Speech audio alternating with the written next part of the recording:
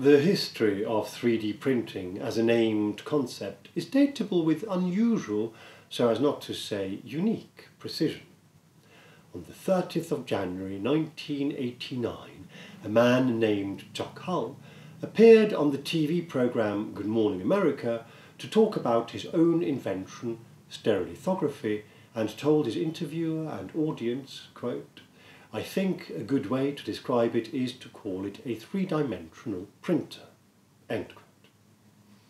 Now, we cannot be sure whether he actually coined the term 3D printing or whether it was already floating around by then in technology circles, but we do know that he made up the word stereolithography and that this was the first and remains to this day one of the most important 3D printing technologies around patent he filed for his invention was issued in March 1986 and it secured him and the company he co-founded, 3D Systems, a big head start and operational monopoly certainly on this particular type of 3D printing technology for the next 20 years. 3D Systems is still one of the major players in the market and Chuck Hull, as we speak, now aged 83, is widely recognised and variously awarded for his achievements. So you might be forgiven for thinking he would be a good historical figure for us to focus on in the context of 3D printing. And you'd be right, which is why we mention him here, not as a footnote, but as a preamble, so to speak, to the person we do want to introduce here, who could, in almost every imaginable way not be more different. While Chuck Hull had studied engineering physics and became, over his highly successful career, the title holder of over 60 US patents, Bre Pettis, born just about a generation later and now in his early 50s today, studied psychology, mythology and the performing arts. Before he had anything to do with 3D print, for which he was to become a poster boy, he odd jobbed in the film industry and in retail and then qualified as a teacher, a profession he carried out for some six years until 2006. Which is exactly the time that things started to get really interesting for 3D printing. With Chuck Hull's patent on stereolithography expired and 3D Systems' hold on the technology thus loosened, the scene was finally set for a new kind of startup to enter the fray. Pettis became involved in the New York hacker scene, helping to found the hackerspace NYC Resistor. It was here that the idea for a fully open source, consumer level 3D printer was born, the MakerBot. Pettis was one of three friends from NYC Resistor who founded MakerBot Industries to enter the race for winning, in inverted commas, the 3D print revolution. The other two were Adam Mayer, who was responsible for software, and Zach Hoeken, who headed up engineering. Pettis, for his charismatic personality and ease with people and the media, was put in charge of design and marketing and elected CEO just how palpable the sense of things being on the move was and how exciting the next eight years would become was called by filmmakers Luis Lopez and Clay Tweel, who happened to be flies on the wall, as it were, for their feature length documentary, Print the Legend, which they released in 2014. In it, you hear people speak of the search and opportunity for a major social innovator, such as Henry Ford or Steve Jobs, someone who would take this technology and make it available to everyone, someone who would bring industrial processes comfortably dominated by Chuck Hull's 3D systems and their chief competitor Stratasys, and take them to the desktop just as had happened with computers.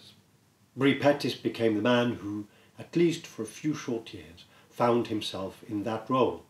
Beloved, as one of the interlocutors of the film puts it, in the maker movement, he had a way with words, knew how to use the then still fairly new social media platforms such as YouTube, which had posted its first video only recently in 2005, a year before Pettis quit teaching, and with his father, who also, as it happens, is named Chuck, and who was himself an entrepreneur who understood the power of a brand, Pettis was well positioned to play the part.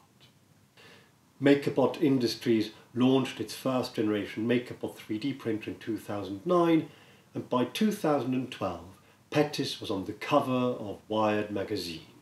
The 3D print revolution was well underway and it had its very own Che Guevara, an instantly recognizable figure who did not shy away from the limelight. At exactly the same time, another three friends who met at MIT Media Lab founded Formlabs to do more or less the same thing as a direct competitor to MakerBot Industries.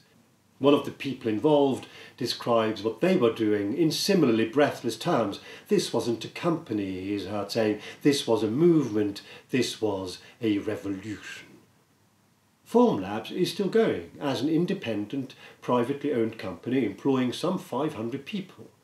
3D Systems, which is a publicly traded corporation by revenue as well as staff at least five times the size, continues to be a market leader, particularly in the industrial sector. And for Bre Pettis and MakerBot, things took a turn to the previously unexpected when, first of all, Pettis abandoned the open source model to make MakerBot Industry a closed source manufacturer in 2012, and then allowed Stratasys, the big corporate competitor, to acquire them in 2013 for roughly 600 million US dollars. This did not go down well with the community that had so treasured him. And perhaps that's understandable. Many of them had invested hundreds, indeed thousands of hours of their own time into helping develop these open source printers. He had effectively sold out. He was briefly kept on as CEO of MakerBot, but got replaced the following year, in 2014, by one of the people he himself had brought in to help usher in the rapid growth of the company he had co-founded. Since then, Bre Pettis has been involved in other startups and most recently has embarked on making YouTube videos on how to make YouTube videos.